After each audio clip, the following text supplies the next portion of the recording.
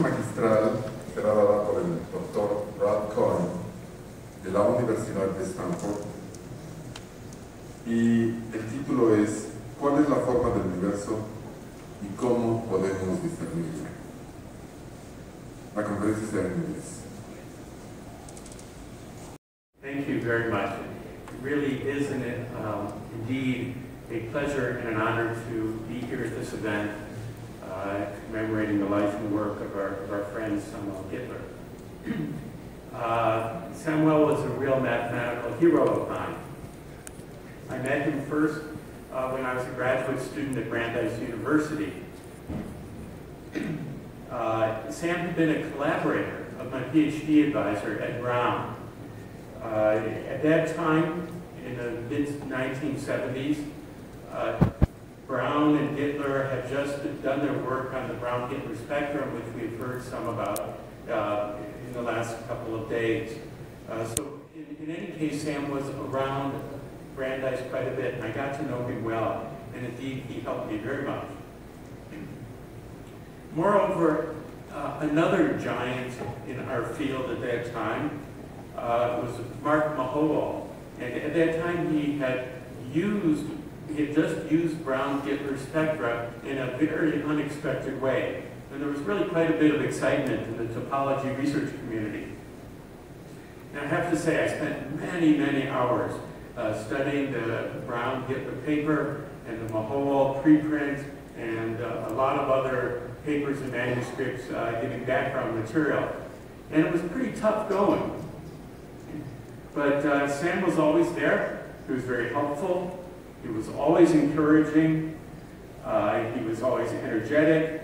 And he showed people of my generation, as well as subsequent generations, his love of mathematics, always in the context of his grace, his elegance, and his wonderful humor. Now, besides being a tremendous help to me mathematically, uh, another thing uh, he did for me, as well as many others, was to introduce me to the Mexican mathematical community, uh, particularly in our field of topology. I've had the great fortune to connect and to reconnect with my Mexican colleagues and friends, and having this connection to the Mexican mathematics community has really been important to me throughout my career. Uh, it's wonderful to see uh, so many uh, old friends at this meeting and to pay homage to our common mentor and friend, Samuel Gitler.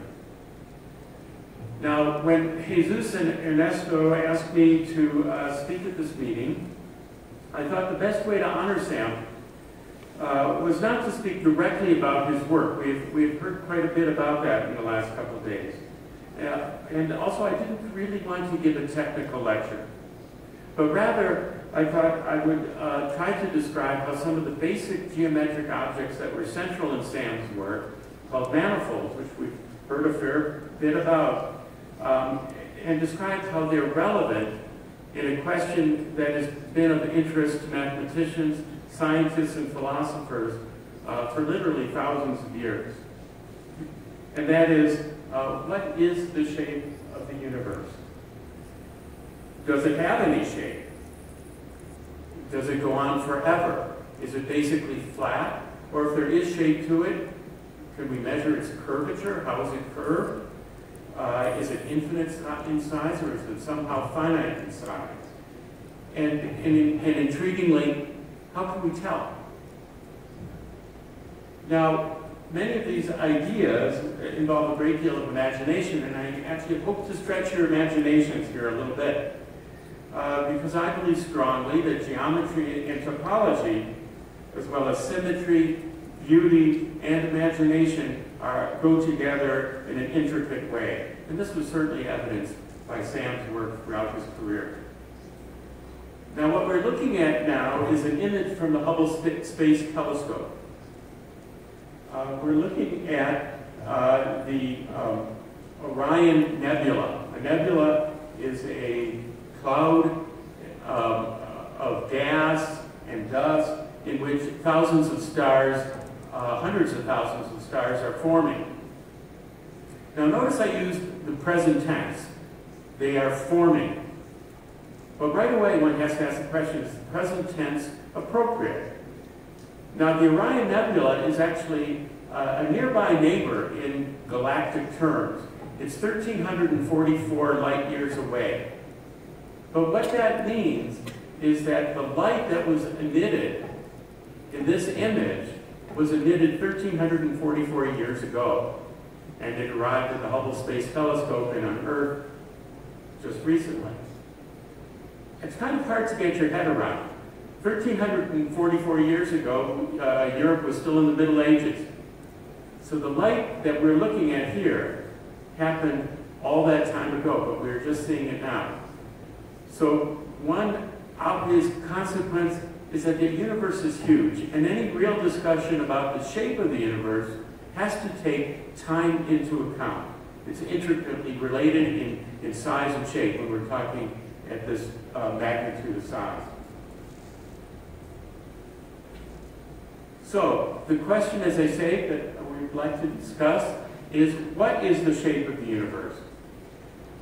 We know it's huge, but is it infinite? Could it somehow be finite in size? This is a gentleman named Archytas of Tarentum. He lived in what is now Italy, but in those days it was a part of ancient Greece.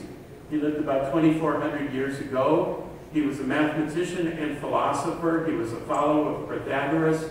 He was a contemporary of Plato. He argued that the universe must be infinite. And what was his argument? His argument is depicted in this uh, picture is that, well, if the universe, he argued by contradiction, as we often do in mathematics and in philosophy. He argued that if the universe was finite in size, then at least theoretically you could travel to the end of the universe, to its edge, to its boundary, stick your hand or head through that boundary, as this picture shows, and look to see what's on the other side. But isn't what's on the other side part of the universe? So what's wrong with his argument?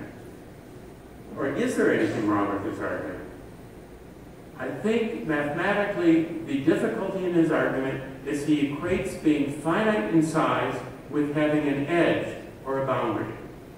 And as we'll see, there are many examples of interesting geometric shapes that are finite in size, or in mathematics we call them compact, but with no edge or boundary. So as mathematicians and scientists often do in studying a very difficult and complicated problem, is that you first study a very simplified example, almost what one might call a toy example. So let's imagine a universe that is one-dimensional and has only one inhabitant, this uh, ladybug here. In this case, the universe, I drew a line, and the arrows on the ends of the line mean it's supposed to go on forever.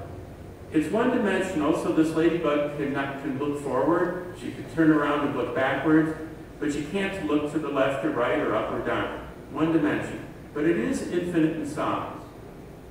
But what if that universe was curved and had a circular shape? Maybe a very large circular shape. Imagine that that circle had a circumference of, I don't know, 10 light years. And suppose, again in our simplifying assumption, suppose that ladybug had perfect vision. Now, what would she see? Well, she would see in the direction of her universe and so she would see her back. But she would see her back from 10 years ago. Because that's how long it took the light to go around that circle in that universe back to the point that she could see. Of course, if it was me standing there instead of the ladybug and I could see, I would see the back of my head 10 years ago and I'd have a little bit more hair.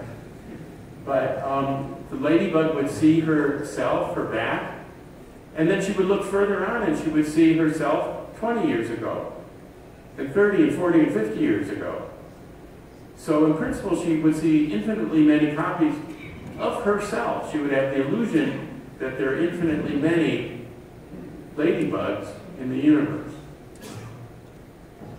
All right, let's jump up to two dimensions and, and imagine that we live on the surface of a torus. This has come up uh, in, in many other uh, talks. So again, the torus is, is, is described by taking a piece of paper like I have here. And uh, the letters there say you identify or glue together the two edges marked A, and you get a cylinder. And then the edges marked B are now circles, and you glue them together as well. Now if I did that with this paper, I get kind of a crumpled mess. But th that's what you get up there, that picture there. So let's see if I can figure out how to use this pointer. Uh, and notice that the edges are no longer edges.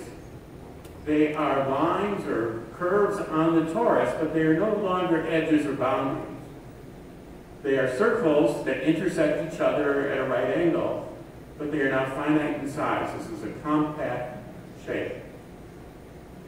Now, in order to get a feel for the geometry of living on, of what it would be like to live on the surface of a torus, um, well, imagine we were school teachers and wanted to teach our uh, class how to graph a line um, living on a torus. So let's graph the line y equals 2 thirds x on the torus. So I am um, assuming, I'm thinking of this vertex here as being the origin, and here's the line of slope 2 thirds. And notice that it intersects um, this line, A, at 2 thirds of the way up. Now remember, A was glued to that line, mark A. So that line actually intersects, the line y equals 2 thirds x actually intersects this line A as well. It's the same line. And so if we continued the line, it would go like that. And it would intersect the B line right in the middle, which is has been glued to um, this B edge down here. So if we continue, it would go like that. And we continue further, and it would intersect, it would finally hit this vertex again. Now, if you recall, when we made this into the torus and we did this gluing, all of these vertices were identified to a single point. So all four of these points have been glued together and represent a single point. So that point up here is the same as that point here. So it means at this point, this line has come back to where it began. So if you continue the line, it'll just retrace itself. So the graph of that line is actually a finite and closed curve. Now we see it as these uh, uh, sort of disjoint pieces in this representation. And I'll show it to you on the torus itself in a second. But let me just point out that this line intersected this A curve three times, and we all intersected the B curve two times. And that two and the three are what give you the slope of the line two-thirds. So if we want to understand this better, we would do what our students would do, which means go to YouTube. So I will go to YouTube and, and hopefully this video will work. And here's a picture of that very line. It's a little bit uh, big. Um, y equals 2 thirds x graphed on that surface. And you see it's a finite closed curve. This uh, video undoes it. Um, let me um, do it again. And it will trace out a curve which is actually an example of a knot, a torus knot, and it's called the trefoil knot. It goes around uh, one circle three times and the other circle twice. And you'll see the knot forming. So this is a line on a torus, which is a loop, and it's a knot. So a line is this knot. So that's a rather bizarre concept. Now, you can ask, does every line on a torus form a closed loop? And the answer is no. Because if it did, uh, well, well, consider the following case. Consider the case of the graph of y equals mx, where m is the slope again, but now the slope is an irrational number, like square root of 2 or pi or something. that will never close up, I claim. So let's try to understand why that's true. Again, mathematicians, philosophers always try to prove their statements. So let me give you a sketch of the argument. If it did close up, that means if I continued this line, it would eventually come back to that vertex. And it would intersect the A curve some number of times, some whole number of times.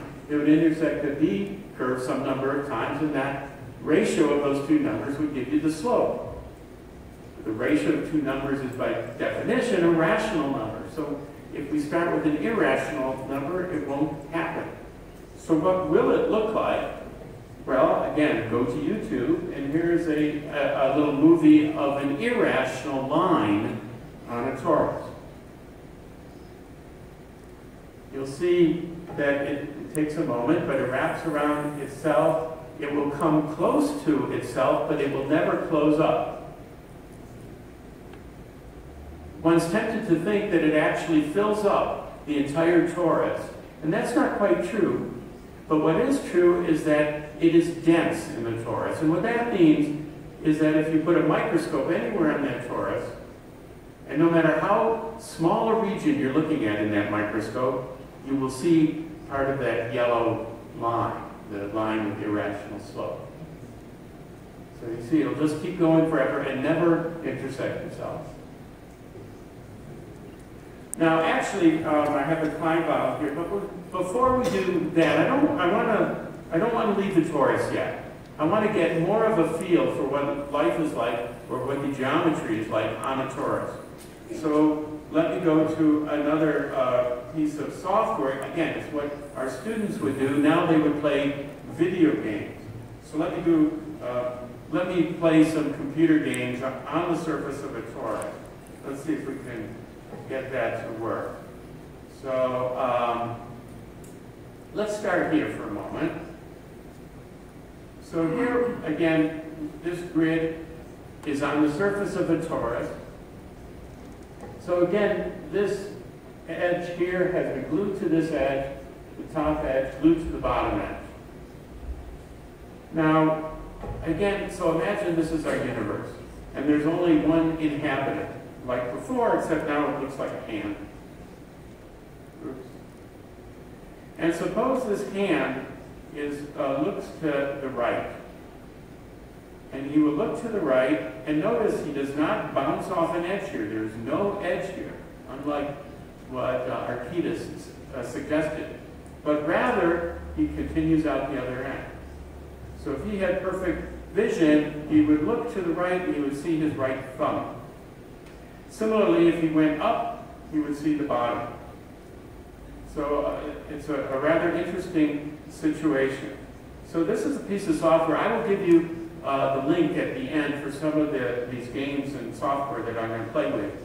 Um, but it's, it's quite nice, that you can play games on the surface of the, oops, the computer's playing tic-tac-toe with me. Um, all right, let me continue.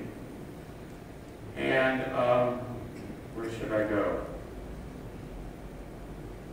Ah, so the computer won. Now, you might not think he won, or she won, I don't know what gender a computer is, but you see, that's a line on a torus, right? Because that point here is the same, has been glued to that point, and continues. So, so, so you're playing tic-tac-toe on a torus. I was going to ask my former student Ernesto to, to challenge me in a game, but I'd be afraid that he would win, so I didn't do that. But uh, let's do one, one more uh, example. Let's play pool on the surface of the torus. So here, the um, again, we're on the surface of the torus. The two edges here have been are glued together. The two top and bottom edges have been glued together. And what we'll see is that um, if we aim the pool ball in a certain direction, it will not bounce off an edge here. There's no edge there, but it'll really come out from here because that point and that point are the same. And you see the travel of this golf, golf, of this pool ball um, on the surface of the torus. It's actually kind of difficult to play pool when the geometry is curved like this. All right, let's um, let's go back and um, consider the Klein bottle for a moment. Now we've seen this before in, uh, in several of the talks. So it's, it's, it's created very much like the torus is created. The two edges marked A are glued together, it forms a cylinder, and then you have two circles, and you want to glue them together, but as the arrows indicate, they're in opposite direction. Those two circles need to be identified in opposite orientation. So how do you do that? Well, we've seen that one way to do it um, is to pass the cylinder through itself. So um, let's see if our YouTube video of this will work. I'm a, a little bit skeptical, but maybe.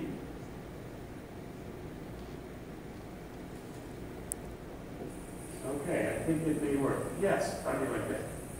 So here we're forming, and the, the two edges marked A have been glued together, and we have that cylinder.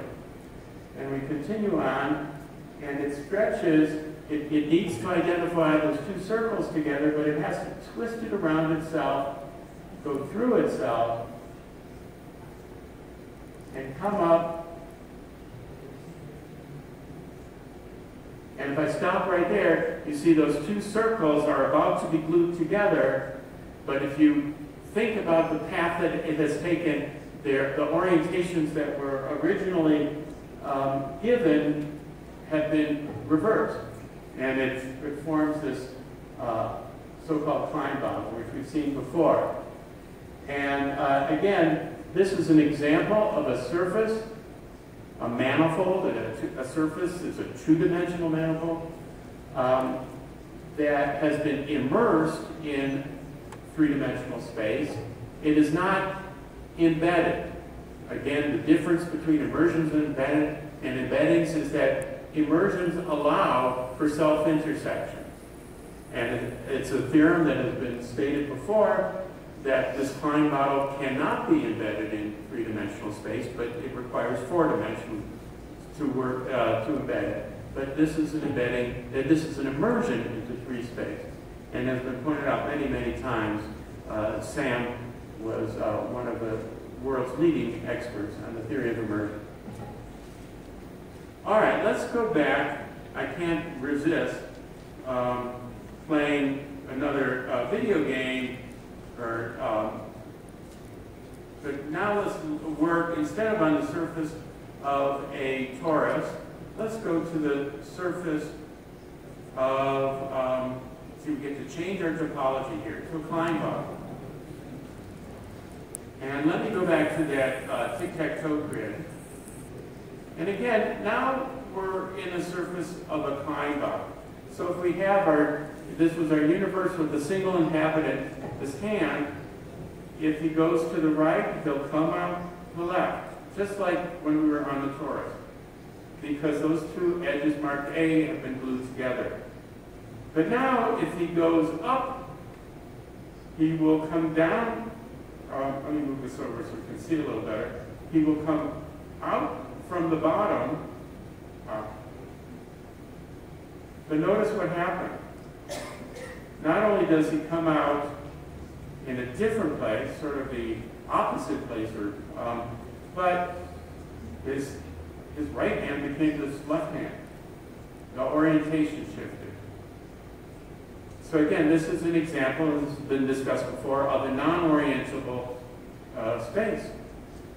Um, if we lived on the surface of a Klein bottle, we wouldn't have a good global notion of orientation.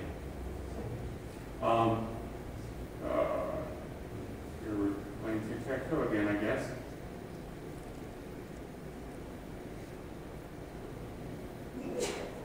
And again, the computer beat me because it, formed a line on the Klein bottle. Okay,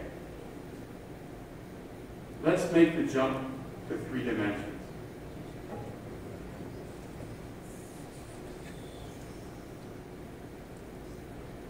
So let, of course, the simplest three-dimensional shape is three-dimensional Euclidean space. It's simplest is not the right word. It's, it's, it's, it's the shape that we learned about back in high school, described globally in terms of three coordinates, x, y, and z. But let me discuss an example of a shape that is, excuse me, the, the three dimension of Euclidean space is an example of an infinite. But let me instead discuss a couple examples of uh, spaces that would be finite or compact. So I'll study what a three-dimensional torus, and it's called a three-dimensional torus because it's constructed very much like our tor the torus was, where the torus was constructed by taking a square and gluing together the opposite edges. Here we will take a solid three-dimensional cube and glue together the opposite faces. The cube has six faces, each of which is a square, and we'll glue them together. So first, we'll glue the top to the bottom, then we'll glue the right to the left, and then the front to the back. Now it's difficult to kind of draw a picture that we can get our heads around, but that doesn't stop us from, do, from doing geometry and topology in the situation. And again, to get um, a good handle or feel for it, what it would be like, we're going to use another piece of software. By the way, this software was all uh, written by a mathematician named Jeffrey Weeks, who's a topologist who's from um, Ithaca College in New York, and he's got this wonderful software uh, that I will, as I said before, I'll give you a link to. All right, so let's uh, pretend we're traveling in space um, in a three torus. So our model for the universe now is, a, is the three torus.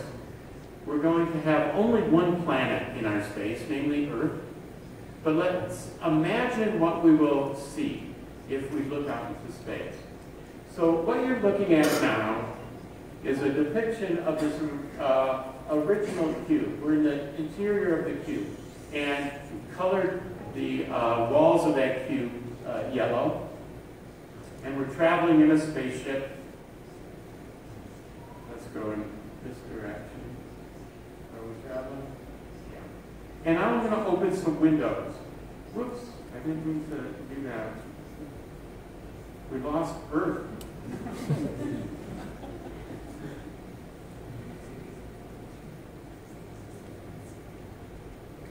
there it is. And I'm going to open up some windows. And oh, it looks like we're going to crash. But that's okay. And we come out, and, and you see here, I'll, I'll put it back a little bit. If you look to the right, you see to the left. If you look up from the North Pole, you will see the South Pole. So let me uh, remove the walls entirely. And if we look up in, this, in, in the sky, living in this universe that had only one planet, we would still have the illusion that we see infinitely many planets. But we're seeing the same Earth, but from different points in time. And it would have this beautiful symmetry to it, coming from the symmetry, the geometry, the topology of the three torus itself. So this is all fun, but um, now we have to ask, how can we tell what, if the three torus is a good model for the universe we live in or not, or if it has to be some other geometric shape? Well, suppose we were looking in an optical telescope and we had perfect vision. We could see forever. What would we see? Well, first of all, we'd be looking back in time, as we've already discussed. We'd see nearby galaxies, stars nearby, more or less as they are now, or now mean within the last couple thousand years. You look further back, millions of light years away, you will see uh, stars and galaxies forming. You'll see clouds of hydrogen dust, more nebula as we started with. And further back still, we see primarily just the dust. And if we look 13 or so billion light years um, away, we will see an opaque plasma, a primordial plasma. Most um, astrophysicists, astronomers believe that the Big Bang happened on the order of 14 billion years ago.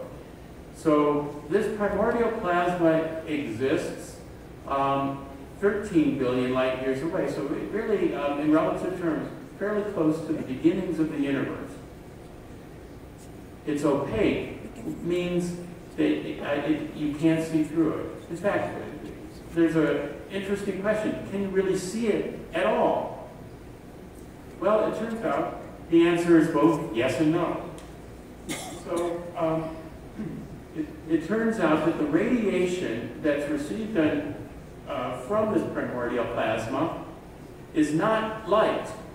So we really couldn't see it from an optical telescope. After all, if you had a perfect telescope and you looked up in the sky, the space between the stars and galaxies would appear black. But rather, the radiation that's received from that primordial plasma from 13 billion light years away comes to us as microwaves. Microwaves are just very much like the uh, radiation that's produced in your in the, your microwave oven in your kitchen. It's a kind of a radio wave uh, at, at a very high frequency. So even though we wouldn't see anything with an optical telescope, no matter how good, if you had a radio telescope, you wouldn't see blackness between uh, the stars and galaxies. You would see a faint glow that was fairly uniform in all directions. So th this was discovered in the 1960s. Um, it's called the cosmic microwave background. It was discovered by astronomers Arno Penzias and, and Robert Wilson, and they, they received the Nobel Prize for this discovery. And they discovered it and detected this, uh, this radiation in radio telescopes of the sort you see uh, it, it fairly regularly. There's, there's one in the hills behind um, uh, my own university that um, can detect this type of radiation. Now, from these uh, microwaves that come from this primordial plasma, you can detect certain fluctuations in the density of that plasma. It's not entirely uniform. There are fluctuations in, in the density um, that are due to, uh, uh, that cause temperature fluctuations. So what would you expect to see in terms of those fluctuations? Well, here's a, a, a kind of a, a cartoon picture. If the universe was infinite in size, you would expect these fluctuations to be rather random and fluctuations to be all over the board. But if it was compact, finite in size, no matter how huge, you might see patterns, just like we saw the patterns um, in this hypothetical universe that was shaped like a three torus, which is compact, that only had one planet in it, but we saw this beautiful symmetry and the, the patterns that that symmetry gave us. So you'd expect to see patterns, as this is uh, meant to show. You see uh, this grouping of four here repeating itself and so forth. So can you actually see such patterns? Well, in 2001, NASA sent up a radio telescope on a satellite uh, called the Wilkinson Microwave Anisotropy Probe. And uh, they put it in orbit around the sun in synchronization, in sync with uh, the Earth's orbit. And they received data from the cosmic microwave background for nine years. So they, they totaled nine years of data. And they studied many, many aspects of the, um, of the micro background, including the um, the, the shape of the universe. And they found, indeed, there were patterns in the density fluctuation. Now, unfortunately, Mother Nature doesn't give us the walls that we had in that cube that were glued together so we knew that we had a three torus. So you have to try to figure out what those patterns say about the geometry and the topology of the universe. And many theoretical physicists and mathematicians, including um, uh, William Thurston, one of the really great mathematicians of the last 50 years, uh, studied this carefully, and they found, yeah, it doesn't fit a three torus. We don't live in a three torus. But there is something similar that it does fit reasonably well. And that's a, a, what's called a Poincare dodecahedron space. So it's very much like a three torus, in, in that a three torus, you started with a solid cube and glued opposite faces together. Here you start with a dodecahedron, a solid dodecahedron. So it's a three-dimensional solid shape. Um, it has 12 faces and they're all pentagons. And now you glue the opposite penta pentagon faces together. And to do that, in order to get the vertices to align up, you have to give it a little bit of a twist. And that's called, and it, and it results in a three-dimensional manifold. And the idea was that the symmetry, such a uh, shape, would give us, is a reasonable model for what was found in that data coming from that satellite. So again, I can't resist. Let's do a little space travel, except um, we'll change our space to incorporate the dodecahedral space.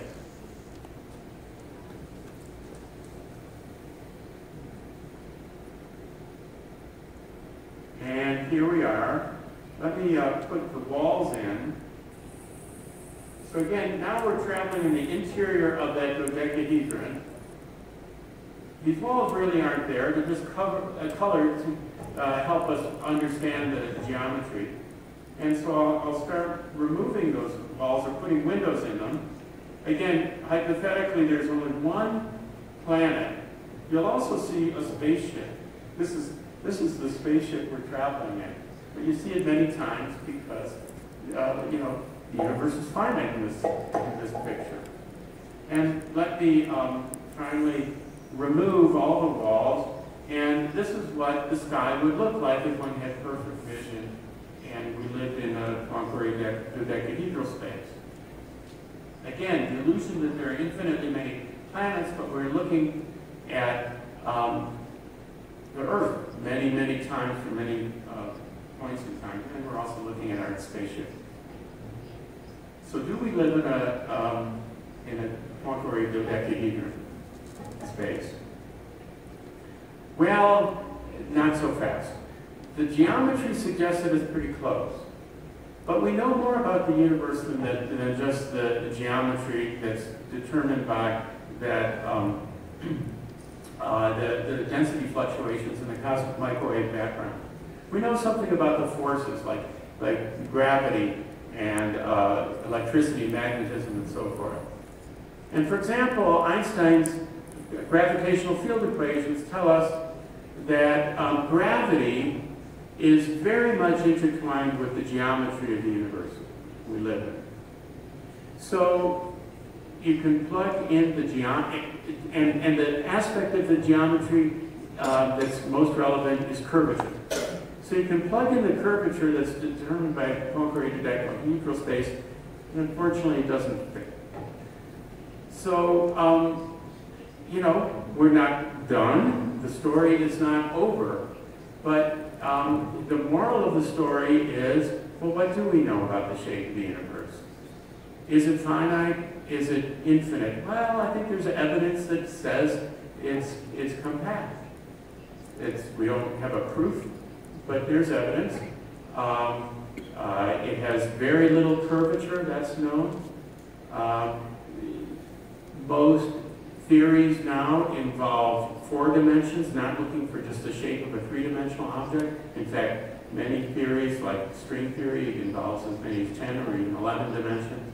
So there's many different approaches to uh, understanding the geometry. So, so there's plenty of work to do in the future. Uh, so I will end here. Uh, thank you very much.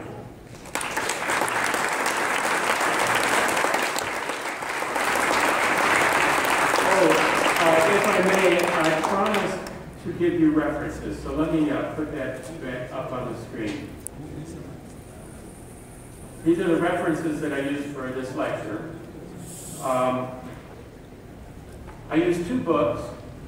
One is, uh, was written actually by a colleague of mine, former colleague of mine, Robert Osserman, called The Poetry of the Universe, a Mathematical Exploration of the Cosmos. A beautiful book. Um, it, both of these books are non-technical. One learns some mathematics, but um, you know, one learns ideas more. And then um, a book where I got more direct reference uh, was, uh, called, and it's a more modern book called The Shape of Space by Jeffrey Weeks. He's the same person who developed that uh, software. And those games are all un, um, available on his website. It's just uh, called geometrygames.org. And, and all the software that I played with today, it's available for free there.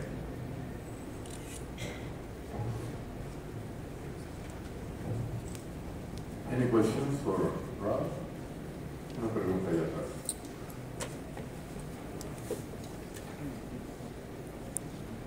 Yo les voy a hacer dos preguntas. Eh, la primera, ¿cómo es posible que con una ecuación se pueda dar la forma del universo? Una. La otra,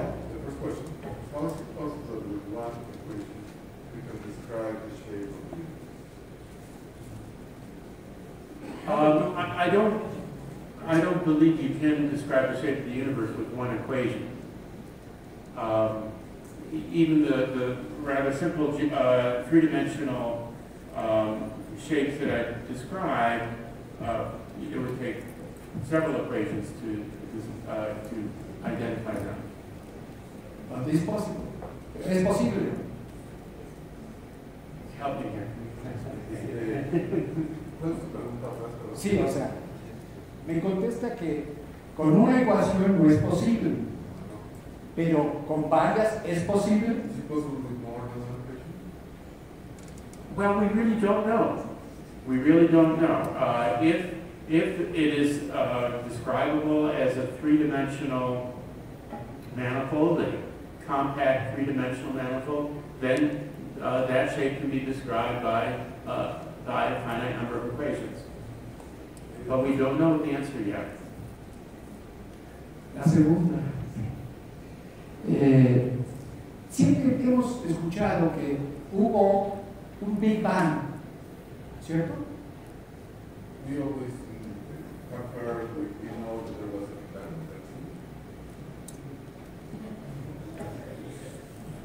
First, I should give a disclaimer.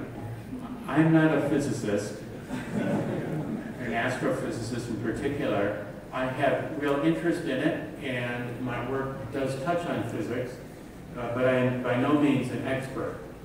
But yeah, I think the answer is yes. I think there's a lot of evidence that the Big Yo no sé por Bang. qué nadie eh, se ha preguntado si hubieron varios Big Bangs. Why no one has ever asked uh, whether there were several Big I'm not sure how to answer that, but a related question is, is there a unique universe caused by the Big Bang, whether it's one or uh, could there be more than one? And one of the creators of the cosmological theory of inflation is an astrophysicist at Stanford, and I happen to know him pretty well. And I've had uh, the great opportunity to have many discussions with him. And he's of the belief that the Big Bang created what's called a multiverse, not a universe. And, um, uh, and that, you know, it's, it's hard to prove either mathematically or physically, but um, there's a lot of work, it's attracting a lot of attention to see if um, theories of the geometry of the universe can be made um, consistent. Gracias. ¿Alguna otra pregunta? Bueno, pues, te quería preguntar si, si conoce alguna otra algún otro indicio geométrico de alguna fuerza. Por ejemplo, la gravedad se ve reflejada por la curvatura. Si hay algún indicio, algún otro indicio geométrico que se pueda medir, bueno, más o menos detectar geométricamente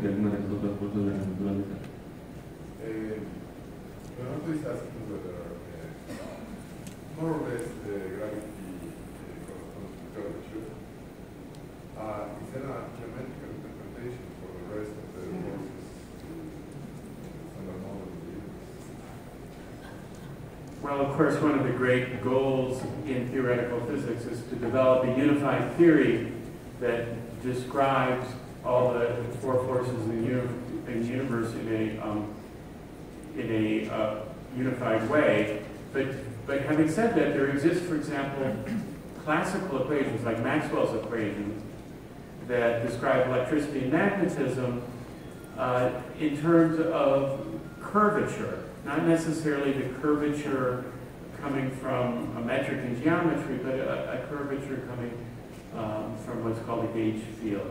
Um, so the answer is yes, but the um, story is certainly not complete uh, by any means. And, and as I say, one of the driving forces in theoretical phys- physics, and it has been for 90 years or so.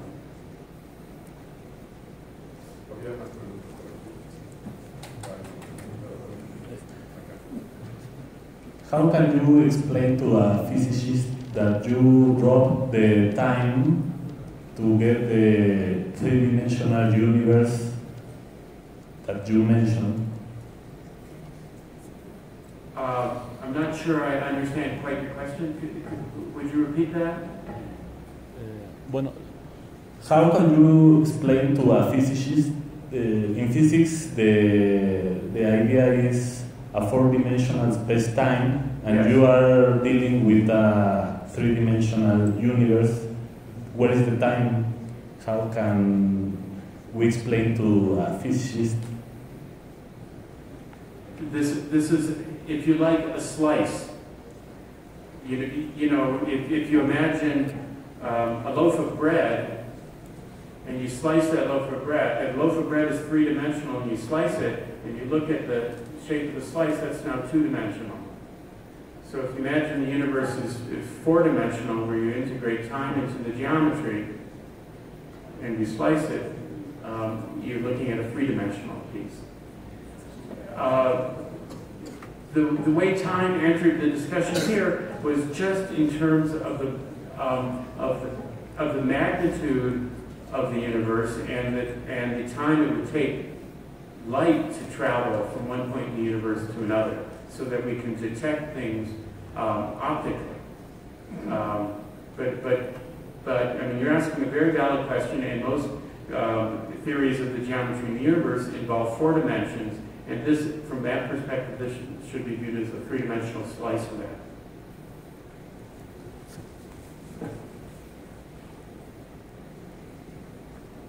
We, we know that a black hole is a spot in the universe that will capture anything that, that happens to pass by, including the um, light beams. So I have a twofold question. The first one is, according to your exposition on density fluctuations, uh, is there a limit to the value of density within the black hole? And the second question is, if uh, density were to be infinite within the black hole, and how can that be without um, destroying the balance of the universe? Uh, it- Those are fascinating questions, and it's just way beyond my expertise. Um, I, I, I honestly don't know if, uh, and it's a, even, it- it's a very good question with mathematical implication. Does the geometry, if the geometry of the universe is a finite, compact, three-dimensional manifold, does that have an effect on the gra- on the gravity in a black hole?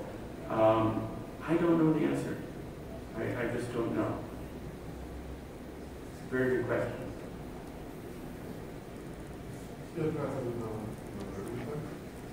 Buenas tardes.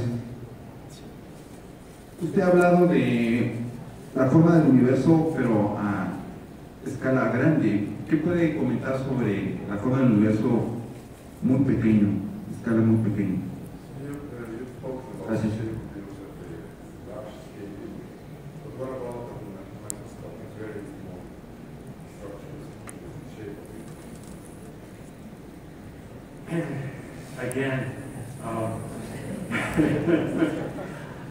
I know, I know very little about this, other than what is quite, quite interesting. Yeah, I, I'm a mathematician. What is quite interesting mathematically is uh, very similar mathematics comes up in, in, in the study of, um, uh, of uh, fundamental particles, particle physics, as it does in studying the geometry uh, of the universe as a whole. Um, the study of ma- how they interact and you know how um, uh, really the topology of manifolds is inter- integral in both of those studies. So the mathematics is very much related. Um, the physics of what um, uh, particle, the question of what particle physics will teach us about the geometry of the universe, I can't answer.